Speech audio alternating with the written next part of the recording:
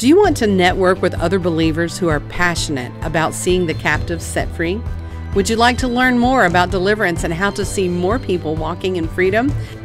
Then check out the one day deliverance conference at the river on March 18th. Registration is free at 2theriver.com forward slash one day. You can add on a lunch and a conference t shirt if you'd like when you sign up. You can look forward to eight hours of courses that are jam packed with information about freedom. Sessions include deliverance and the effects of the church, trauma and the demonic, an introduction to deliverance, and an informative session on how to take the weird out of deliverance. Jesus came to set the captive free.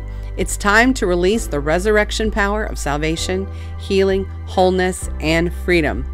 Join us at the river in Nortonville on March 18th.